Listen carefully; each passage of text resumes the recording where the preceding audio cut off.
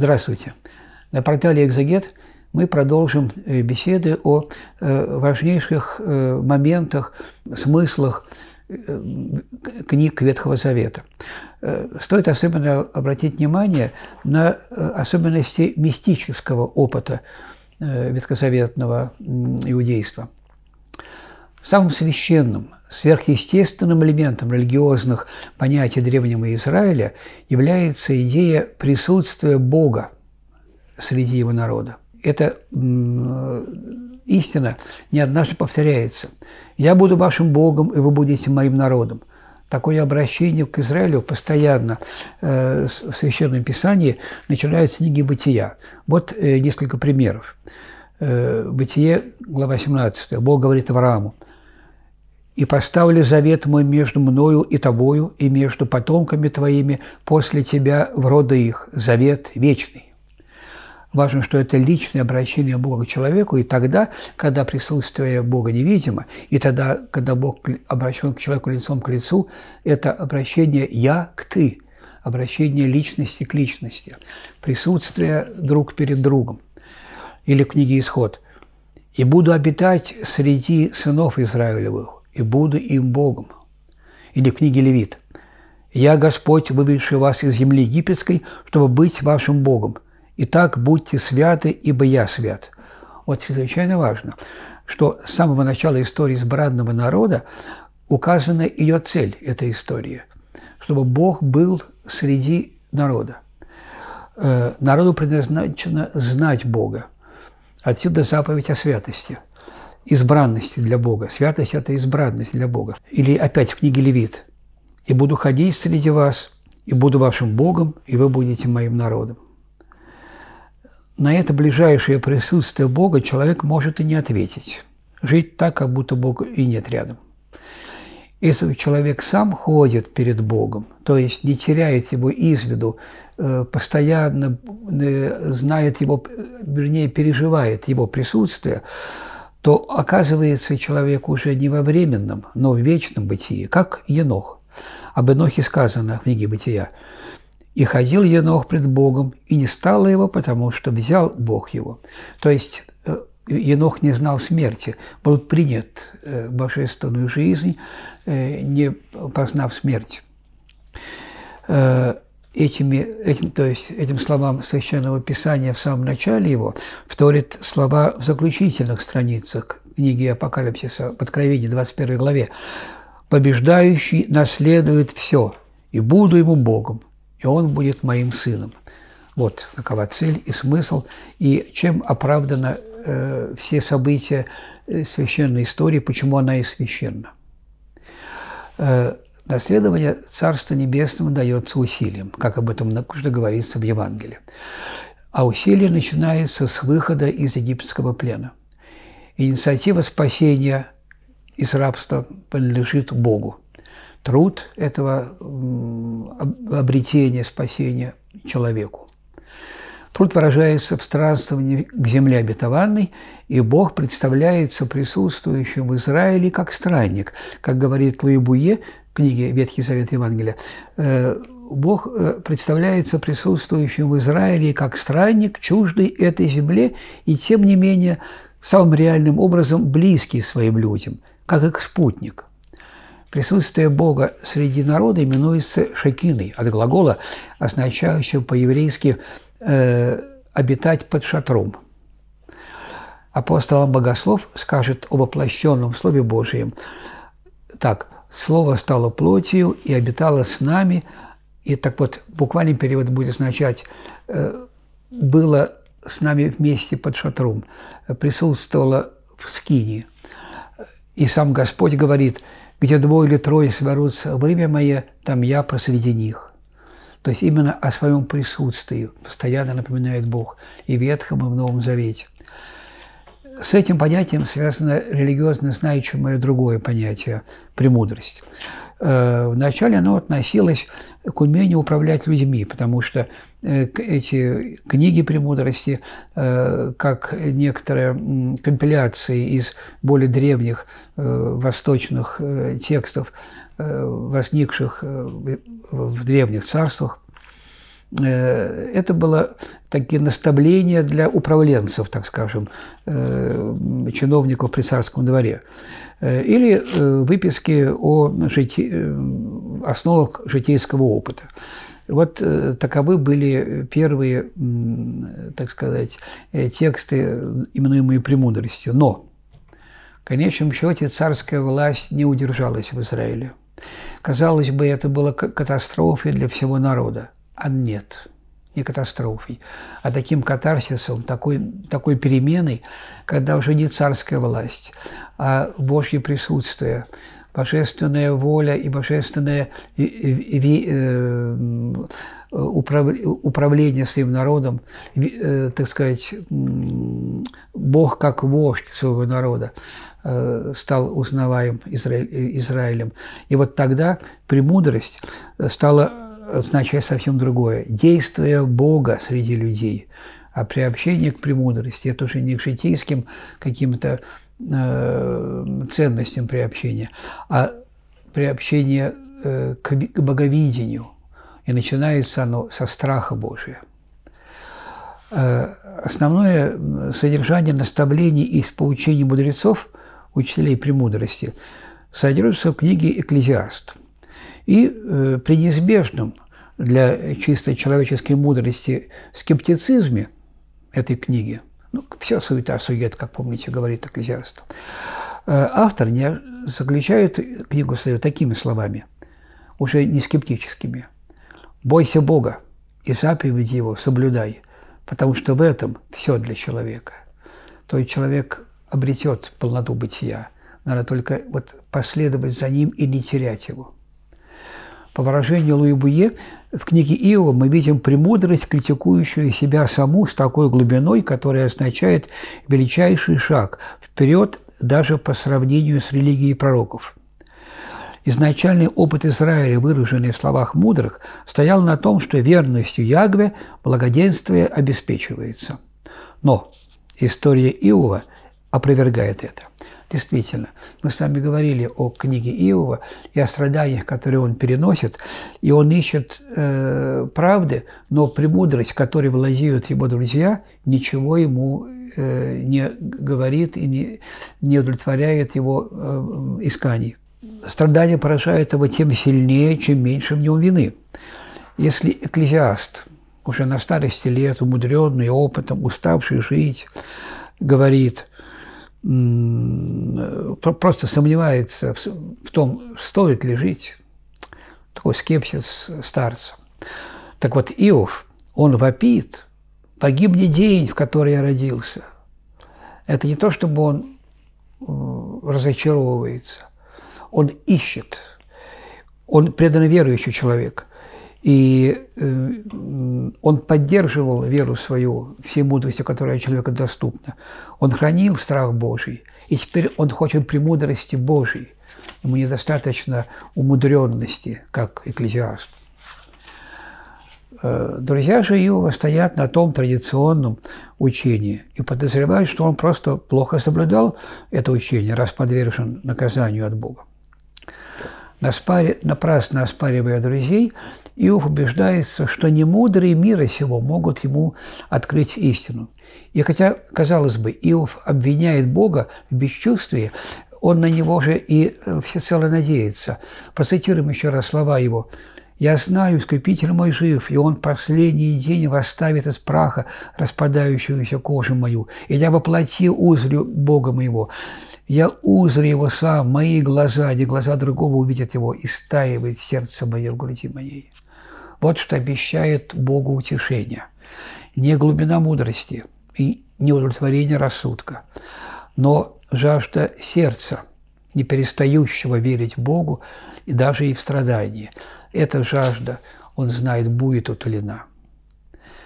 В отличие от всех религий, вера Израиля имеет основанием любовь к Богу. Это первая заповедь. И через нее сердце познает больше, чем разум своей мудростью. Потому Иов и не получает ответа, выраженного словами, но узнает неизмеримо больше, чем дерзал знать. Он не о смысле э, каких-то э, событий узнает, не о промысле Бога он узнает, а он самого Бога узнает лицом к лицу. Вот что, э, что на самом деле, для чего человек предназначен и к чему ведет весь Израиль его история. И сама премудрость воплощается в богочеловеческой личностью Иисуса Христа для встречи с нею лицом к лицу. Как исповедует церковь, читая прямые из книги «Премудрости» на Богородичные праздники. Когда мы говорим «премудрость, создай себе дом», и под домом премудрости подразумеваемы Богородицу, вмещающую в себя, как это не чудно, странно, непостижимо, жизнь Бога человека. Откуда, в принципе, может возникнуть жажда встречи, так неистово выраженная Иовом? Она ведь далека от опыта, который может дать любая другая религия. Представление о богах, во власти которых э, стихии мира и жизнь природы, э, такое представление исключает внимание божества к человеку как к личности. Здесь возможна только зависимость от божественной силы – или использование ее магическим э, каким-то способом. Более утонченные представления о божественном мире как мире идей, например, в платонизме, тоже исключают возможность заинтересованного отношения безличного первоначала э, в человеке. Понимание видимого мира как неизбежно э, греховного, падшего, несовершенного, как свойственно, скажем, буддизму, она указывает путь лишь к отрешению от личностного бытия. Э, мистические учения, практики во всех этих религиях ведут к поглощению божества человеком или человека божеством. Так что ни свобода, ни реальность человеческой личности им неведома тем мистическим практикам. Скорее наоборот, там отрешение от самого себя в этих каких-то, скажем, аргиастических обрядах. В них невозможна надежда Иова. Мои глаза, не глаза другого, узрят его. В религии, основанной на откровении Бога о себе самом, какова религия Израиля, человек узнает, что его подлинное, неискаженное катастрофой и грехопадения состояние быть перед Богом лицом к лицу, видеть его без изумления и страха, как выражается Луи Внутренняя память то есть тоска, которая и напоминает о реальности рая, утраченного, но желанного, это внутренняя память, она вот выражается такими словами Иова, «истаивает сердце мое во мне». Итак, если мистический опыт – это встреча человека, той человеческой жизни э, с жизнью божественной, то подлинно мистической является только библейская религия откровения. Ибо человек существует как личность, и в откровении человек узнает Бога как личность. Все начинается со встречи.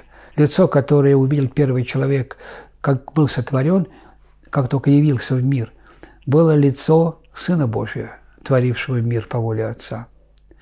Явление Бога человеку могло быть в огненном виде – например, как Аврааму в виде огня, который прошел между половинами рассеченной жертвы, или как э, Моисею в огне э, горящей и несгораемой купины, или э, в человекообразном образе ангелов, как путников, например, принявших гостеприимство Авраама.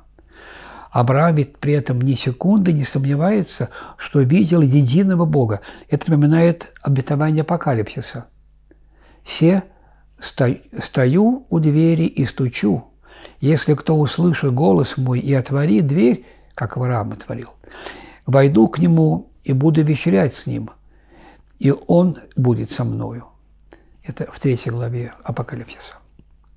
Вот на этом моменте следует остановиться, так как созерцание Святой Троицы – каковое созерцание пережил Авраам. Это есть высшая мера мистического опыта, испытанная очень немногими подвижниками христианской церкви. Ну, мы знаем преподобного Сергия Радонежского, преподобного Александра Свирского. И мы не можем сказать, что именно и как видели эти святые, очистившие свою душу, сколько возможно человеку, и которых Бог удостоил такого созерцания.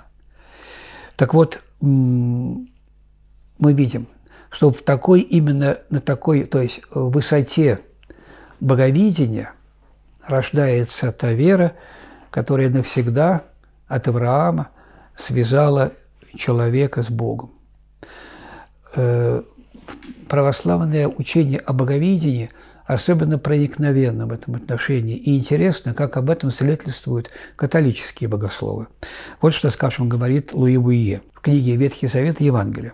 Он пишет, «Лучше всякого словесного толкования восточная иконография – словно высвободила весь заряд чистейшего мистицизма, заключенный в этом повествовании – и с такой глубиной восприятия библейских данных, которая, по-видимому, благодаря родственности душ, свойственная восточным христианам, Великая Рублевская икона в Троице Сергиевой Лавре, единственная в своем роде красотой трех чудесных силуэтов, собранных вокруг мистического стола в идеальный круг, сразу же наводит на мысль о, на несравненное присутствие.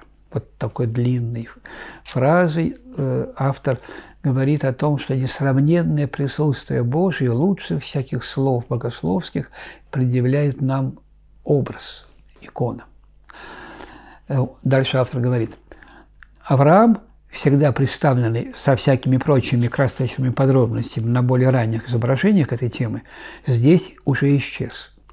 Но это от того, что с точки зрения русского иконописца Авраам в нас, его детях, в народе Божьем – и мы должны принять присутствие, божественное присутствие, чтобы оно господствовало над нами и наполнило нас. То есть как бы вот так построил свою икону Рублев, что мы оказываемся э, на месте Авраама присутствующими в этом созерцании. Э, не побоюсь и длинные э, цитаты из книги другого католического автора – Э, Самоцейна, религиозного философа и богослова. Книга называется «Агнец Божий». Всеединое или соборное переживание религии, весьма характерное для Восточной Церкви, особенно и проявляется в концепции Святой Троицы. Поэтому для восточных христиан Святая Троица есть нечто большее, нежели только тайна, недоступная человеческому разуму. Она есть и тайна, но вместе с тем и источник, из которого проистекает особое состояние и в молитве, и в творчестве. И разве не в этом особенность православия? Вот так говорит католический богослов, прославляя э, православную способность к боговидению. Действительно, мистическое переживание присутствия Бога здесь и сейчас составляет суть православной литургии, божественной трапезы. И тем более – следует помнить от трапезе, приготовленной Авраамом. Это еще не Евхаристия, но предзнаменование той трапезы, той встречи, которая соединит людей с Богом во Христе. Рублевская икона представляет Троицу у жертвенника, а нас, по верному замечанию Буе, соучастниками Святой Трапезы. И так оказывается, что в богоявлении, пережитом отцом всех верующих, Авраамом, то есть, коренится мистический опыт христианской церкви, то есть как Ветхого, так и Нового Завета. Нас не должно смущать э, то, что такой житейский реализм э, свойственен э, всем изображениям ветхозаветных теофаний, то есть богоявлений, э, ну, таких как подробности встречи у, у Маврийского дуба, как борьба Иакова с ангелом – или явление ангела Господня родителям Самсона, Маною и его жене. Ведь э, все эти подробности лишний раз доказывают реальность, подлинность пережитого, реальность сверхреального. Это не снижение мистического опыта, а напротив, при исполнении божественным присутствием человека, который не перестает при этом быть самим собой, не исчезает где-то, не, рас, не растворяется, не в нирвану уходит и не в экстаз, а будучи самим собой, переживает встречу. Э, содержание книги Иова исключительно важно с точки зрения православного богословия именно потому, что свидетельствует о возможности для человека видеть Бога лицом к лицу. Э, или, как пишет э, архимандрит Сафроний Сахаров, видеть Бога, как Он есть. При, при этом человек остается человеком, а Бог – Богом.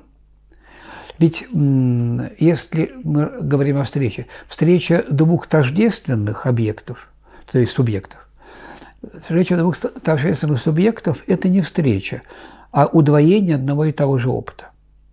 Подлинная встреча – это общение двух разных, но которым свойственно принципиальное общее той, тот и другой личности. Встреча – это узнавание и принятие другого. Совершенный же образ встречи – любовь. Любовь преодолевает невозможное соединение временного и вечного, ограниченного и безграничного. Э, э, и э, так выражает это пророк Давид – как лань охотно стремится к источникам вод, так душа моя стремится к Тебе, Боже. Возжаждала душа моя явиться к Богу крепкому, живому. Это 41-й псалом. Я цитировал в переводе Юнгерова. Или в книге Иова. «А я знаю, Искупитель мой жив, а я воплоти моей узрю Бога». Вот о каком э, внутреннем э, стремлении говорит и Давид в псалмах, и Иов, и все праведники, и пророки. Тут очень важно заметить, что для ветхозаветной веры несовместимо представление о Боге со смертью. Жив Господь – это их клятва. И это, в этом клятвенном восклицании утверждается, что э, где жизнь, там Бог, где Бог, там жизнь. Смерть в сущности не имеет смысла. Как сказано, например, в шестом псалме. «Никто из умерших не вспоминает о тебе, а в аду кто исповедует тебя?» Так оправдывает Давид свою мольбу о помиловании и спасении. Только в жизни человек узнает Бога, как это отличает э, ветхозаветную религию от религии других народов, например, египтян, которые готовились к смерти именно как к приобщению к божественной жизни. Во всех моментах встречи Бога с верными Ему, как правцы Авраам, Иаков, пророки Моисей, Иса, Иезекииль, Даниил, преодолевается провозглашенная самим же Богом его недоступность. Тем самым указывается высший промысел Божий о человеке, выход из смерти в жизнь и встреча с Богом лицом к лицу. Совершенное истощание всех благ и самой жизни Иова – это в сущности образ смерти, которая э, совершается вот этим прямой встречей. Из него э, Иов выходит преисполненное всякого блага новое бытие. Оно начинается с того, что Иов удостоверяется в истине, которая есть не истина с маленькой буквы, э, как ответ на какой-то вопрос. А истина есть присутствие самого Бога, живой истины. И вот именно таково э, содержание мистических озарений всех ветхозаветных праведников. Действительно, только по-настоящему эта религия содержит наиглубочайший мистический опыт. До следующих встреч. Внеси свой вклад, оцени, подпишись и поделись этим видео.